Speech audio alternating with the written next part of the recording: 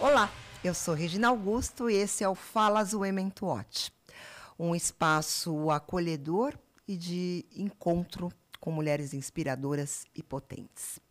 Esse podcast é uma produção do MEI Mensagem e conta com o apoio da UMAP BBDO, GNT, Itaú, NEL, TikTok, Nestlé, 13M e UOL. E hoje eu tenho uma convidada muito especial.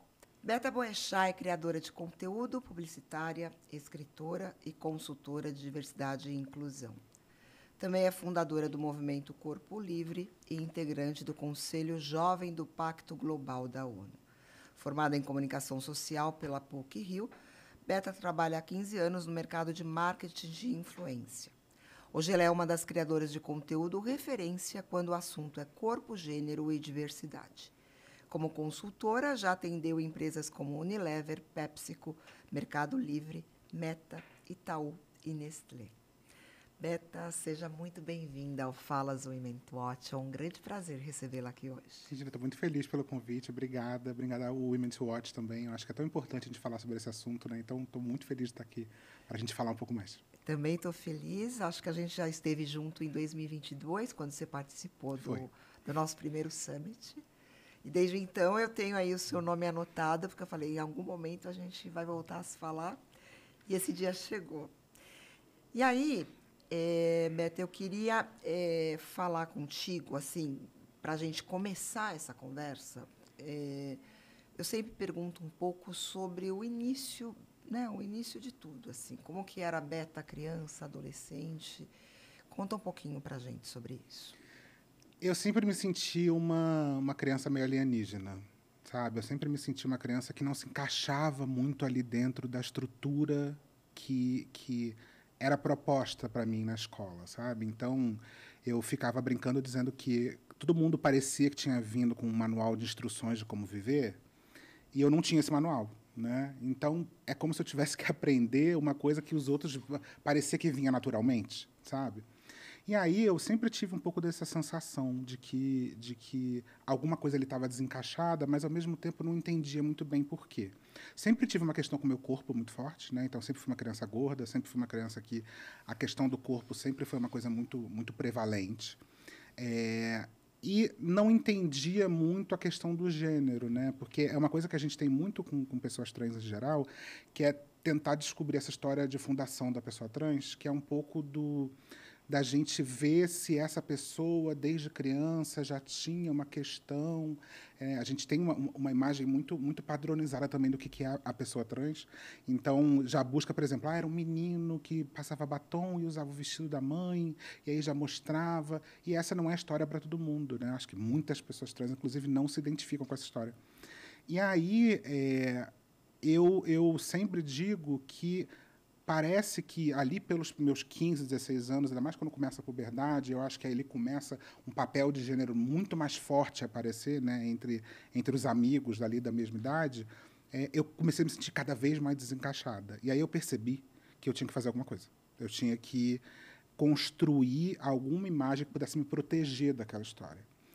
E aí eu digo que a Beta fez uma viagem, que a Beta saiu. Né? Ela saiu de cena um pouco. Então, eu era uma criança extremamente artística. Eu fazia todo mundo no Natal sentar e assistir a peça que eu tinha escrevido, com 10 anos de idade.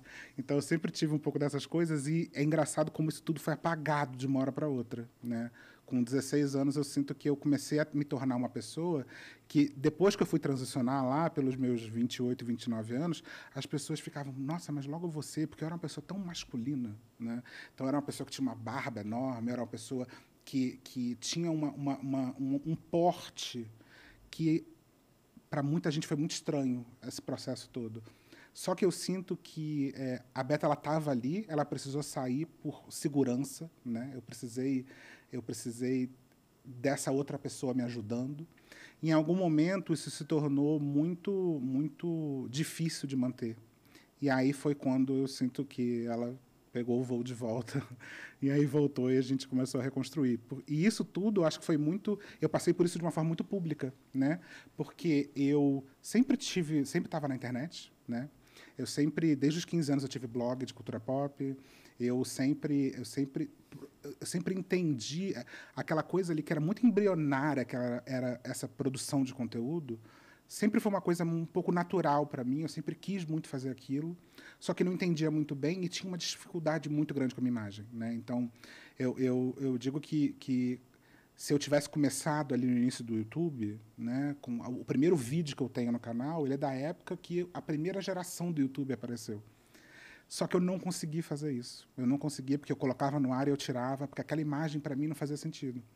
E aí eu sinto que é, ali por volta de 2016, eu entrei numa depressão super profunda ali nessa época, porque a questão do meu corpo começou a ficar impraticável, né? Eu não, eu não me relacionei durante muitos anos, eu basicamente fui ter meu primeiro relacionamento com 27 anos. Então, isso tudo fez com que eu, eu, eu tive que usar a internet para tentar descobrir se alguém passava pela mesma coisa que eu. Porque eu sinto que esse era um assunto, o assunto do corpo, em geral, não era uma coisa muito debatida até essa época. Eu queria pegar esse gancho que para mim me parece fundamental sobre quando a gente fala de internet, de redes sociais e de abertura para vozes diversas poderem se expressar, né? Uhum. Porque você é dessa geração, né? Você é dessa geração que você fala justamente porque você né, cronologicamente, né? Você vai uhum. amadurecendo à medida que primeiro o YouTube, depois as redes sociais e, e, e, e, acho que aí que você foi se encontrando também, né? Você tem esse momento, você você consegue identificar um pouco quando que você vira essa chave?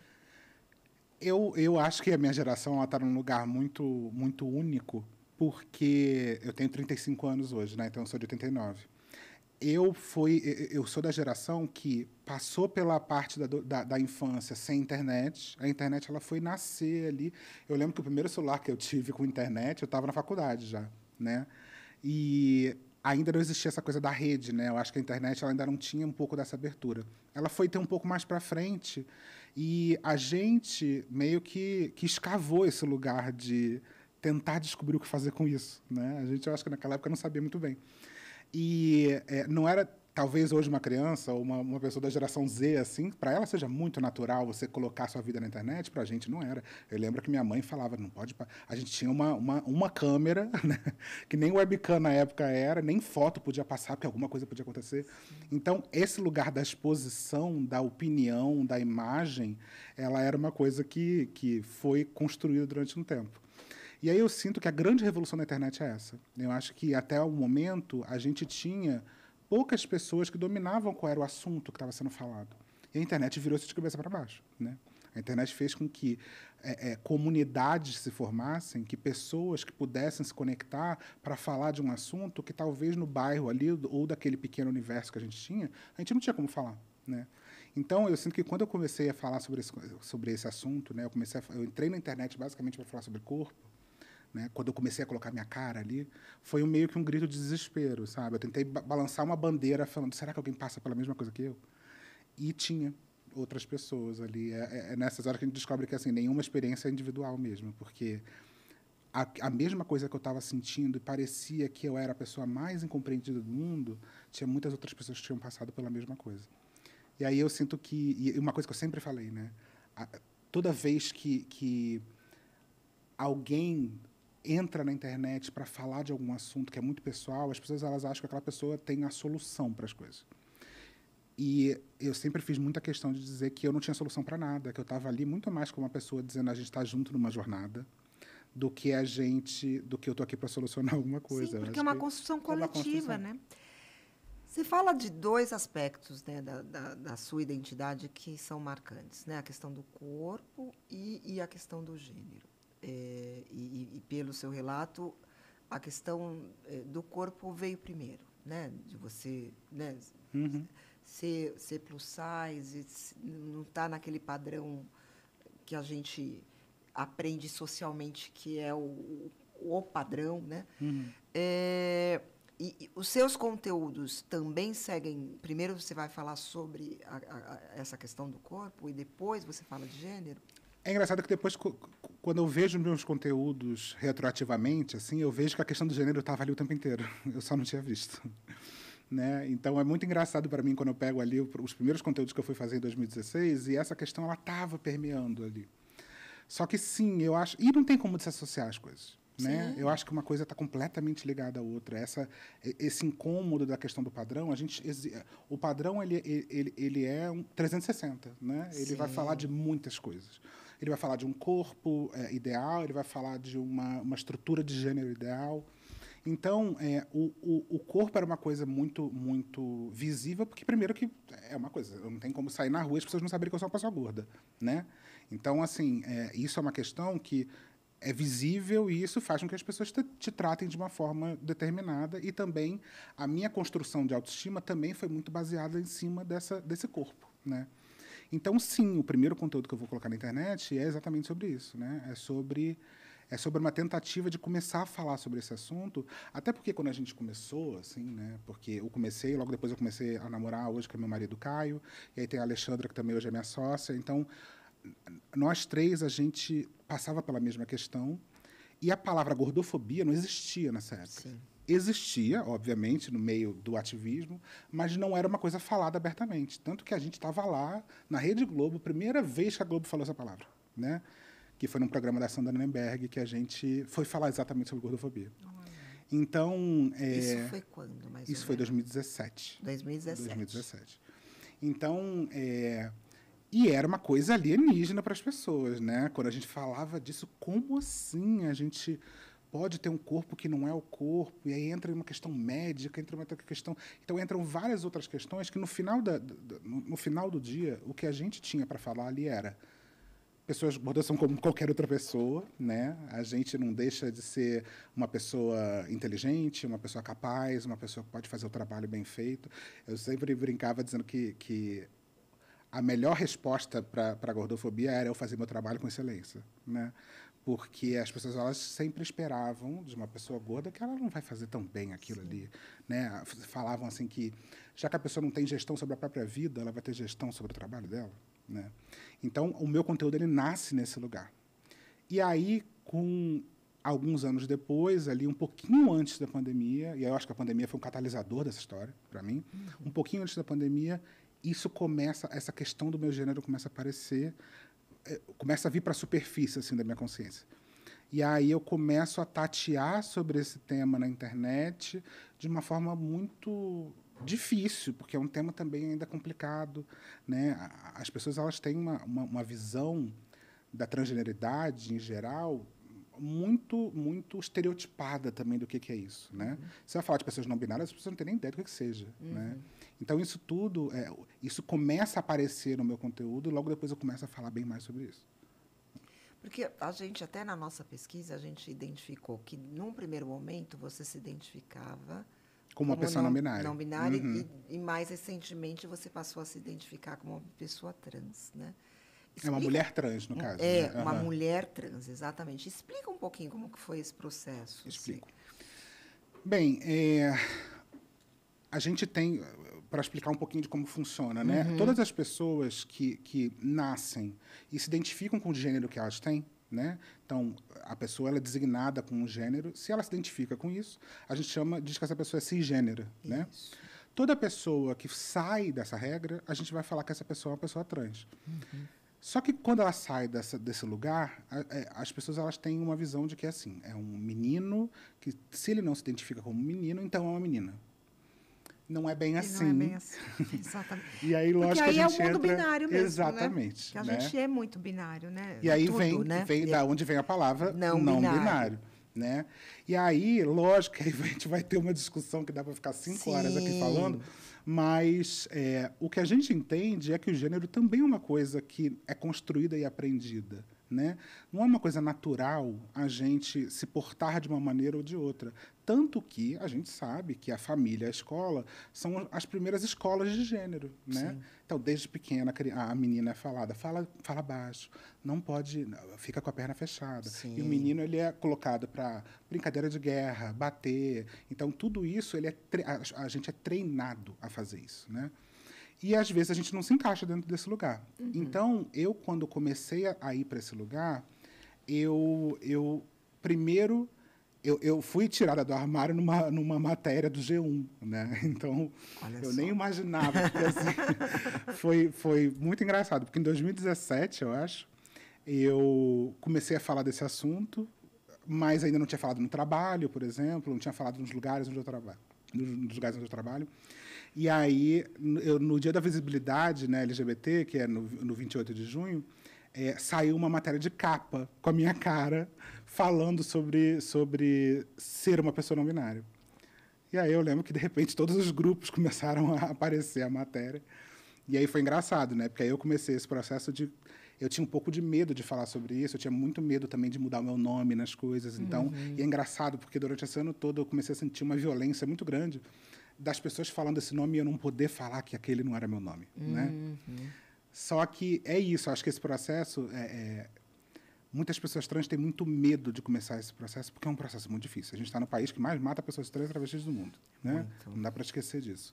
Então é muito difícil dar o primeiro passo porque as pessoas ela têm uma expectativa que, ok, primeiro não seja trans. Se você for trans, então você vai ser é, uma pessoa que faz o, o estereótipo completo daquele outro gênero, né? Então começa a haver uma, uma, uma cobrança muito forte para que você tenha uma outra expressão de gênero ali, para que você tenha, que a gente chama de passabilidade, né? que é parecer o outro gênero. E aí, eh, as pessoas não binárias elas estão um pouco numa, numa, numa zona cinzenta. E eu acho que tem muita gente que explica como se ah, existe uma gradação entre homem e mulher e o não, o não binário está no meio. Eu acho que nem é isso. Para mim, existe um, um plano de gênero onde homem e mulher são pontos nesse plano. Né? Não existe uma gradação nessa história.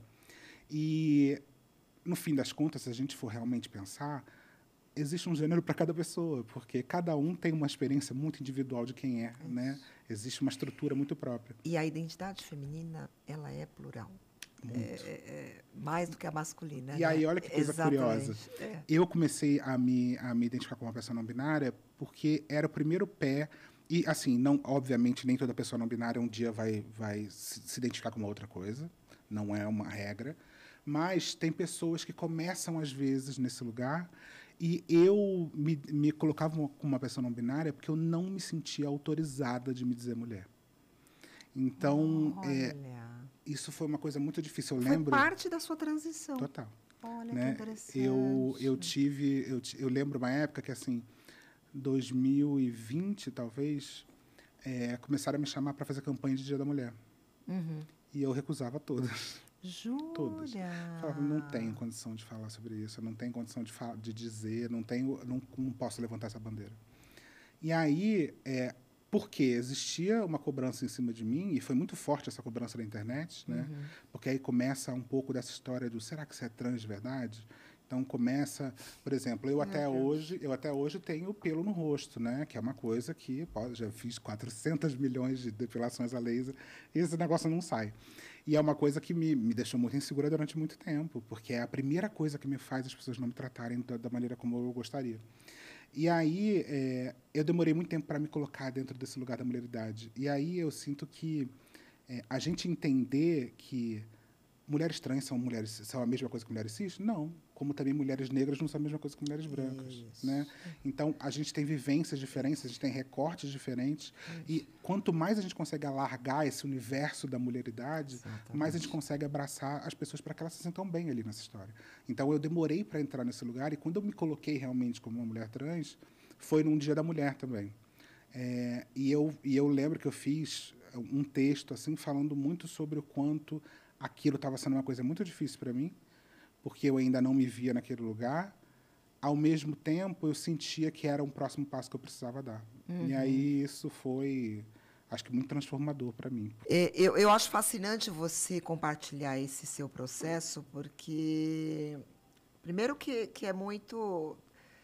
Acho que tem uma verdade, né? Porque a- a- as pessoas acham que a gente é muito bem resolvida, que tudo é fixo, definitivo. Exatamente. E, e não, gente. A- existe, inclusive, até um termo né, que você deve conhecer muito bem em inglês, né, que é o gender fluid. Né? É, e hoje eu tenho filhos adolescentes, eu tenho uma filha de 11 e um de 14, e eles já vieram ao mundo, felizmente, com isso muito menos. é, Estruturada, porque eu acho que a gente também está pensando nisso. É, é, né? é, na verdade, é uma desconstrução, é. porque a, a, nossa que é muito fixo e muito Sim. nas caixinhas, né? É, então é, é, maravilhoso, assim, que, que, que lindo esse seu depoimento. Você citou da sua sócia Alexandra, que é a Alexandra Gurgel, né, que ela é sócia no, no Movimento Corpo Livre.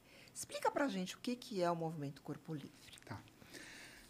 Quando a gente começou, lá em 2017, a gente teve uma fase onde a gente é, queria muito trazer lugares, fazer com que pessoas fora do padrão tivessem a liberdade de poder ocupar lugares que não ocupavam, né? Então a gente teve uma festa durante um tempo onde as pessoas pela primeira vez eram fotografadas pelo fotógrafo, coisas pequenas que parecem muito bobas, mas que não são. Né? A gente teve uma marca de roupa e aí quando chegou a pandemia, a pandemia meio que acabou com essa história toda, né? Aí a, a Xanda foi morar em Brasília uma época, a gente continuou aqui, a gente ficou um pouco separada, e aí a gente sentiu a necessidade de fazer com que isso pudesse ser mais forte ainda na internet. Porque eu tinha o meu trabalho já como criadora de conteúdo, a Xanda também e o Caio também. E o movimento Corpo Livre ele nasce como uma tentativa de trazer todos esses assuntos debaixo de um mesmo guarda-chuva, né? Até então isso era chamado de body positive, né? Que a, a, a gente a gente importa um pouco dessa ideia do, americana para cá. O corpo livre ele tem ele, ele entra como uma tentativa de tradução dessa palavra. E ele também nasce como um movimento na internet. E aí, em 2020, a Xanda é chamada para uma matéria no Fantástico, aonde ela fala sobre o corpo livre. E aí isso tem uma explosão ali. Então, ali no primeiro mês a gente já tem 100 mil seguidores, e aí isso começa a cada vez mais se estruturar. Então, o Corpo Livre ele nasce como sendo uma, um agregador de conteúdo sobre esse assunto.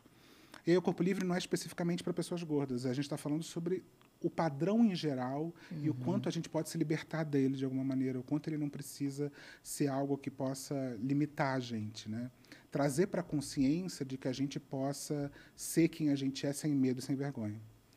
E aí, quando a pandemia vai acabando ali em 2022, a gente volta a, a, morar mais próximo, logo depois a gente mora junto, então hoje a gente mora todo mundo junto, é uma grande comunidade.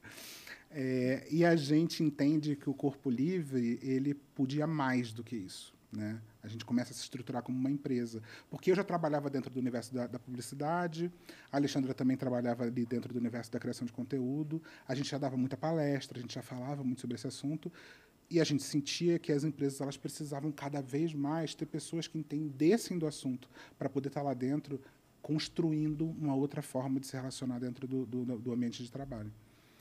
O Corpo Livre ele começa a dar consultoria, então a gente se estrutura para poder dar consultoria para empresas. A gente pode, a gente fala desde palestras de letramento, e aí a gente vai falar ali da consultoria de diversidade e inclusão, né? Então, desde a palestra de letramento até uma formação de um grupo de afinidade, até a gente tentar entender uma crise interna, alguma questão, e a gente se alarga além do assunto do corpo para o assunto do gênero também, para pessoas LGBTQIA+.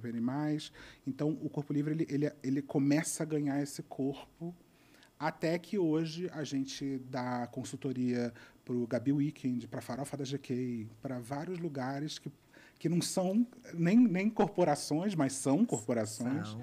E que a gente está o tempo inteiro trazendo esse olhar de como a gente pode transformar esse espaço num lugar mais inclusivo, num lugar mais aberto, mais acessível para as pessoas, né, para que a gente possa. para que a festa seja para todo mundo. Né? Exatamente. Né? E, e, aí, pegando esse gancho, é, você, você é uma comunicadora, né, trabalha com publicidade. Como que você tem visto a relação das marcas com essas temáticas? Eu sou um pouco contra a ideia de que a gente regrediu nessa história. Eu acho que a gente precisa ficar muito atento, mas eu sinto que não tem como a gente dizer que o mundo de 10 anos atrás é o mesmo mundo de hoje. Né? Eu estava esses dias na, na, na, internet e eu estava vendo um, um vídeo de que era, era sobre será que a, a, pressão estética era tão forte nos anos 90? E aí a gente. E aí é, uma, é um compilado de vídeos de mulheres em programas de televisão sendo questionadas sobre o corpo. Né? Questionada, quanto que você emagreceu? A pessoa pega uma balança e bota lá para ver se ela está falando a verdade. Então, isso eram coisas que eram naturalizadas há 10, 20 anos atrás e que hoje não são. Né? A mesma coisa, pessoas trans a gente não via de jeito Sim. nenhum, só num lugar muito cari caricaturizado, assim, é, e a gente não era um ser humano. Então, é óbvio que a gente vai ter uma, uma reação, porque acho que qualquer mudança é sempre muito dolorosa. A sociedade, ela, ela anda para frente. A gente a gente está, assim, andando para cada vez um universo mais, mais aberto e mais inclusivo. Só que, ao mesmo tempo, a gente, óbvio, que vai ter uma resistência a esse crescimento, porque a gente tem medo do que a gente não conhece. Essa é a verdade. No final das contas, a gente tem muito medo daquilo que é muito fora daquilo que a gente aprendeu. Muitas vezes a gente tem uma, uma, uma visão de mundo que é que é muito uma forma da gente honrar o nosso pai e nossa mãe. Então a gente precisa continuar com a mesma, a, a, mesma forma de pensar, com a mesma forma, por exemplo, de você criar um filho como seu pai e sua mãe te criou. Então isso tudo faz com que quando a gente chega e fala assim, o gênero não é tão estruturado assim, o corpo não precisa ser dessa maneira, as pessoas elas têm um pouco de desespero de falar como assim, o que eu acreditei minha vida inteira não é bem por aí, né? Então existe esse medo muito grande. é o medo do desconhecido, o medo do né? desconhecido, é. o medo daquilo que a gente não, não, não, e é muito também, eu acho que uma, uma questão de um policiamento de se eu sofri até hoje com isso, como que você não vai sofrer também, né? Então eu sinto que a gente é, e as empresas elas estão muito na frente disso, né? É, a publicidade ela está muito na frente disso. Eu, eu, eu, fiz publicidade porque eu sentia, talvez inconscientemente, que a publicidade ela mudava o mundo, né? A gente tem é, é estruturas sociais que foram criadas com publicidade. Né? A publicidade ela está ali mudando a maneira como a gente vê a publicidade, o entretenimento, a comunicação em geral. Ela está mudando a maneira que a gente a gente está construindo sociedade o tempo inteiro. A gente está construindo cultura o tempo inteiro. Então, é, é, a, a, a, gente, dentro da empresa, a gente consegue fazer com que, com que talvez seja até um espaço experimental para que as pessoas elas possam tirar aquela ideia de diversidade da empresa e botarem na vida delas.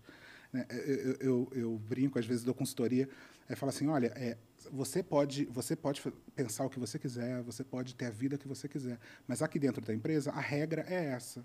Né? Tá tudo certo. Você pode daqui para fora você pode pensar o que você quiser, inclusive aqui dentro. Mas aqui existe uma regra de convivência, porque senão a gente não vai conseguir viver aqui dentro, Sim. né? E eu sinto que isso faz com que é isso. Muitas vezes eu chego num lugar onde eu sou a única pessoa trans do lugar. Eu sou, muitas vezes eu trabalhei em equipes onde eu era a primeira pessoa trans que trabalhava nesse lugar. Como que as pessoas elas vão ter uma, uma ideia positiva de uma pessoa trans se a única coisa que elas têm a referência é uma conhecem. coisa esquisita, né? E aí, como que foi esse, esse, esse começo e como que tem sido hoje esse processo é, profissional e com as marcas? Que você falou que, além de produzir conteúdo, você também dá consultoria, Sim. né? Você faz as duas coisas. Faço. Então, assim, por exemplo, assim que eu comecei a transicionar, é, eu fui uma das primeiras pessoas da empresa que eu trabalhava na época a mudar o e-mail não existia nenhuma estrutura, uhum. não existia nenhum passo a passo do que, que acontecia. Né? Então, eu lembro que eu tinha que falar ali com o RH e tudo mais. Posso mudar o e-mail? Acho que pode, entendeu? Então, é, é, hoje em dia, a consultoria que a gente dá é exatamente para dar essa visão do que está escondido, né? Uhum. Do que, que, dentro da empresa, que a empresa ela funciona, ela, ela, ela tende a funcionar daquela mesma maneira, porque ela tem estruturas que vão sempre se repetir. Só que muitas vezes aquelas estruturas elas foram construídas por pessoas que não são outras pessoas que não tiveram acesso àquilo. É, e uma né? das, das questões que eu ouço é que as empresas contratam até pessoas eh, diversas, Exato. mas elas não estão preparadas para receber essas pessoas. Eu sempre brinco, chega, chega um, um, um gestor e fala assim, ah, eu tento contratar pessoas negras, mas ninguém fica. Exatamente. E aí a pergunta é, o que, que você está fazendo para essa pessoa ficar? Exatamente. E, e, não é um tratamento especial é, é pensar que, por exemplo, a gente tem hoje no, no mercado, para pessoas negras especificamente, para pessoas trans também muito, pessoas que é, é a primeira geração da família que fez uma faculdade. Sim. É a primeira geração de uma família que está num emprego. CLT. Sim. Então, existe uma pressão em cima daquela pessoa totalmente diferente de uma outra pessoa que a família, o pai, a mãe, a avó, todo mundo teve. Aquilo ali já é uma estrutura conhecida. Né? Exatamente. Né?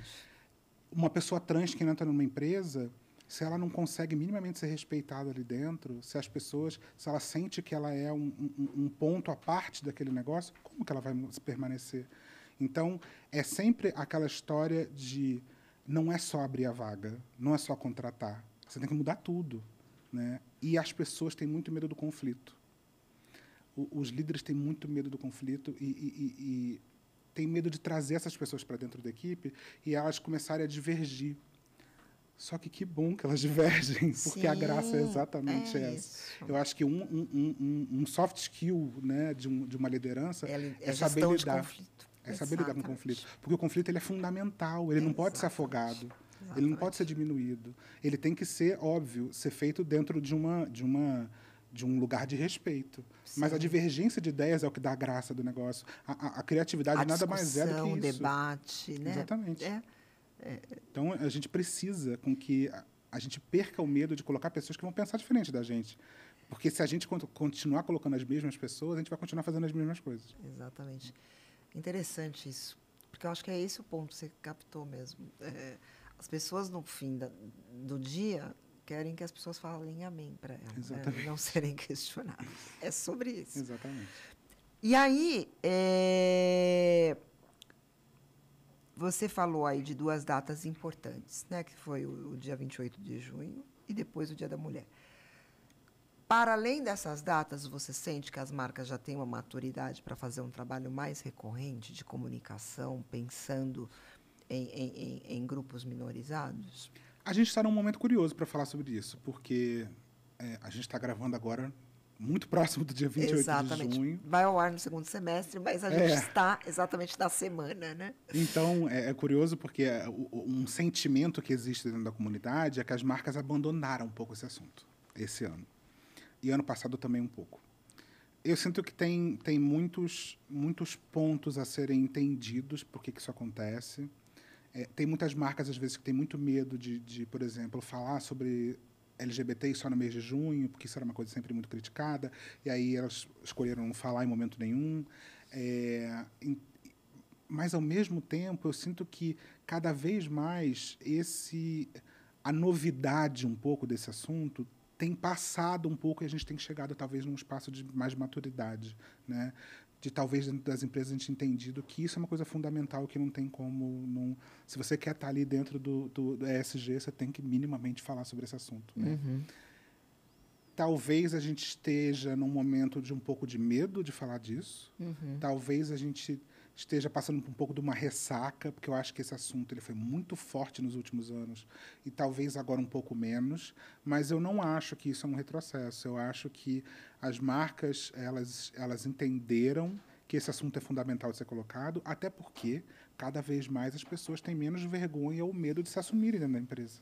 Né? Exatamente. Né? Então você cria um espaço onde não tem mais como voltar atrás né? Aonde um grupo de afinidade de pessoas negras não vai voltar atrás e fingir que não são pessoas negras, né? Então, a gente tem um espaço onde cada vez mais, se a gente traz diversidade para a empresa, esse assunto ele se torna urgente, né? Eu sinto que as empresas também estão percebendo que elas precisam olhar para dentro, né? Porque é, não é só fazer publicidade. Só publicidade. Não é só levantar uma bandeira colorida, é, é. não é só tem muita coisa dentro de casa para arrumar e talvez seja o lugar mais importante no primeiro momento arrumar Sem dentro dúvida. de casa, né? Porque é isso, a diversidade não é só da porta para fora, né? A gente precisa entender e, e olhar nesse lugar incômodo do, do, do rei está nu, assim, sabe? Do desconforto. De olhar e falar, eu acho é. que eu estou fazendo uma eu me acho uma, uma, pessoa tão diversa tão aberta mas aqui eu estou fazendo uma coisa que eu nem percebi que eu estava fazendo é. eu, eu, eu sou como você eu, eu acho que o momento é de, de acomodação. Ele não é um momento como era o, é. o anterior, mas eu acho que o, a, a, a, este movimento e essa construção ela é irreversível. Com certeza. É, e ela já é transformadora.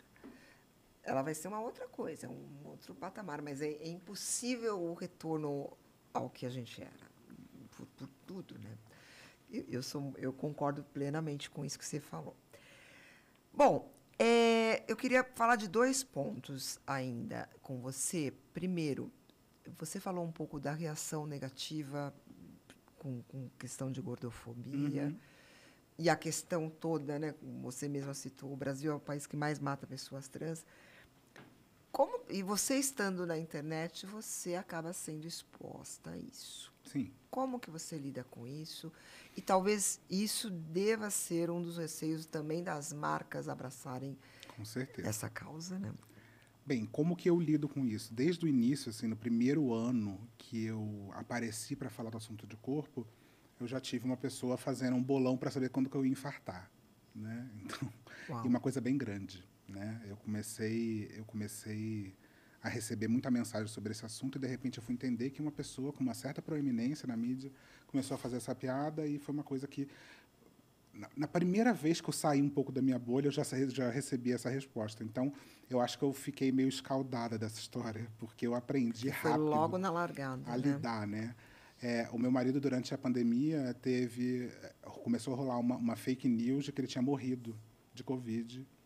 E foi um pavor, porque a mãe dele... Ele estava dormindo e a notícia chegou na mãe dele para entender o tamanho do que, que isso se tornou. E, e foi desesperador, porque a mãe quase teve um treco, porque a mãe achou que ele tinha morrido de verdade e tudo mais. E isso também foi orquestrado por uma questão da internet, né? Então, é, eu sinto que esse trabalho ele incomoda, óbvio. Eu, tenho essa consciência que quando a gente fala de uma coisa, é o que a gente estava falando agora há pouco. Se a gente está falando de uma coisa que não é cômoda para as pessoas, há, muitas vezes a reação ela vai ser violenta. Ao mesmo tempo, tem uma, um lugar de privilégio muito grande, né? Porque é, a gente a gente sempre repete essa história de o Brasil é o país que mais mata pessoas trans e travestis, mas a gente não pode esquecer de um recorte que a maioria das travestis e trans que são assassinadas são trans negras, né? Não são pessoas trans brancas. Brancas. Eu sou uma pessoa de classe média, eu sou uma pessoa branca, eu sou uma pessoa que tem vários privilégios e que teve muitos acessos, né? Então isso me ajudou muito a eu estar no lugar onde eu estou e perceber e, e- entender que esse lugar é um lugar de potência para eu poder tentar fazer alguma coisa.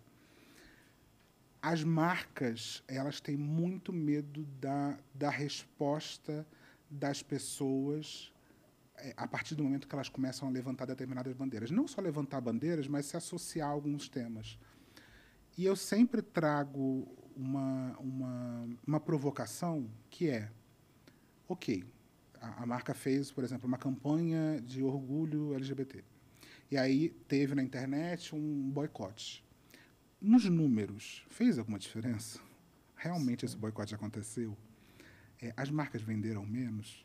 É, será que o lugar do a, o- a percepção positiva é muito maior que a negativa? Só que a gente tem hoje, infelizmente, uma estrutura de um ódio organizado, né? De uma, uma minoria, porque por incrível que pareça é uma minoria bem pequena, mas uma bem- minoria bem barulhenta. Então, é, eu falo sempre isso. O Twitter não é o mundo, né? Não é o mundo.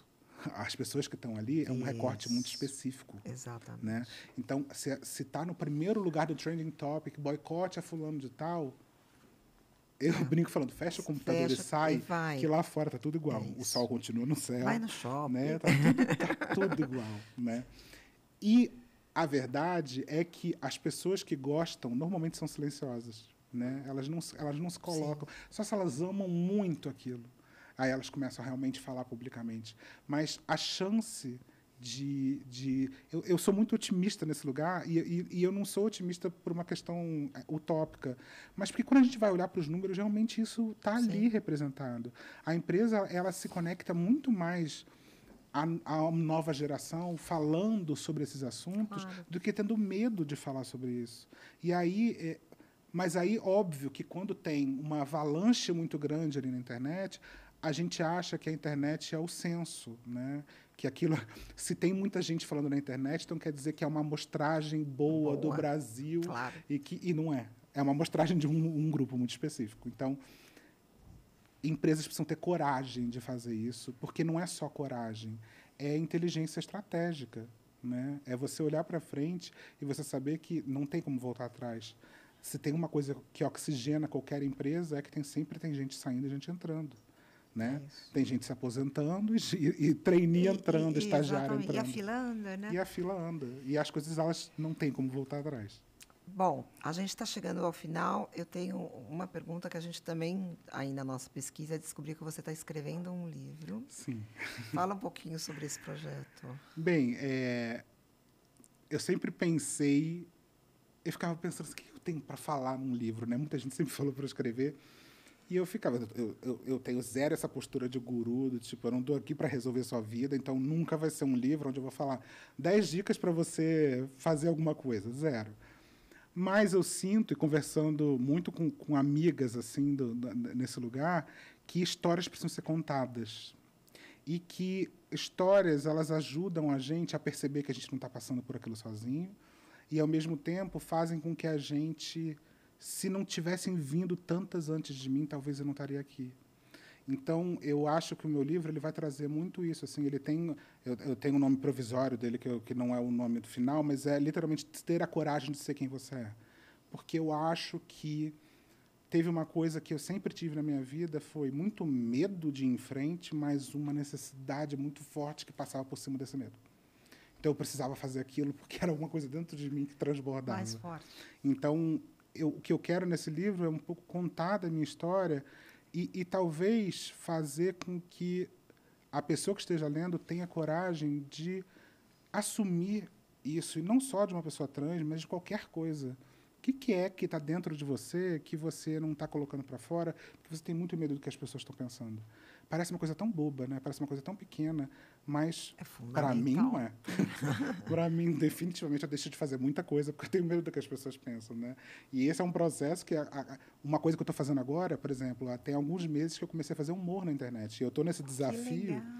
Eu estou um pouco nesse desafio assim de o meu conteúdo ele está indo para um lugar de entretenimento muito forte, e ao mesmo tempo eu tenho esse lugar é, de consultora, como fazer as duas coisas, Sim. né? Só que eu também não me permitia estar nesse lugar porque a pessoa trans dentro do humor é sempre uma, uma pessoa que ela é o alvo da piada e não a, a pessoa que está fazendo a piada. Então, é, eu estou muito nesse processo de como construir esse outro lugar onde eu possa falar sobre coisas que eu, que eu, que eu goste é, e isso ser uma coisa que faz sentido. Então, eu ainda também estou nesse processo. E eu acho que o meu livro ele tem um pouco desse objetivo. Que legal. Qual é a previsão de lançamento? Se tudo der certo no ano que vem. No ano que vem, muito bom. Bom, a gente está chegando ao final mesmo agora, e aí a gente sempre fecha o programa com o episódio com uma, um jogo rápido, assim. Eu falo uma palavra para você e você fala a primeira coisa que vem na sua mente. Um propósito. Transformar um mundo em um lugar mais confortável para as pessoas. Um acerto. Transicionar. Um erro. Não ter começado antes. Uma paixão. Acho que produzir conteúdo, falar sobre aquilo que eu tenho que eu tenho medo de falar, mas que eu sinto que é urgente. É, você tem alguma dica que você acha legal, seja alguma coisa que você esteja lendo, ou vendo, ou consumindo? Ou... Eu tenho uma dica que é qualquer curso dado pela Helena Vieira. A Helena Vieira é uma professora especialista em gênero, ela é uma pessoa inacreditável, assim, e ela dá Muito curso bom. na internet, então se tiver oportunidade, faça o curso da Helena. Muito bom. E aí, você tem algum conselho para dar para a nossa audiência? Ah, eu vou falar um conselho muito batido, mas que ele é tão real que é a hora perfeita de começar nunca vai chegar. A, toda vez que você começar, a hora vai ser meio esquisita. Mas essa é a hora de mas começar. Mas tem que começar. É essa mesmo. Bom, Beta, eu, eu, eu que agradeço muito você estar aqui, porque eu acho que foi incrível é, de conhecer melhor o, o, seu relato é muito inspirador e muito potente. Se você quiser dar um recado final e não esqueça também de deixar os seus os seus perfis aí para a nossa audiência, tá. por favor. Bem, meu meu perfil na, na internet, no Instagram, no YouTube é Beta Boechat, então só me achar lá e no LinkedIn também.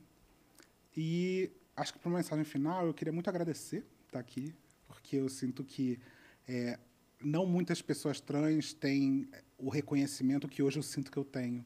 E isso para mim é muito emocionante, porque eu nunca imaginei que eu ia estar num lugar é, de, de, um veículo como meio mensagem que, no, que sempre me acompanha durante a minha carreira inteira e que hoje eu estou aqui podendo falar para o Ministry Watch. Então, é, eu queria muito agradecer isso, porque essa história eu sempre tive muito medo de contar, eu sempre achei que não tinha ninguém para ouvir e hoje eu tenho certeza que tem. Então, Com certeza, obrigado. querida. Parabéns, viu? Chegamos ao final de mais um episódio do Falas Women Watch. Não esqueça de deixar o seu comentário e de nos seguir nas nossas redes. Até a próxima!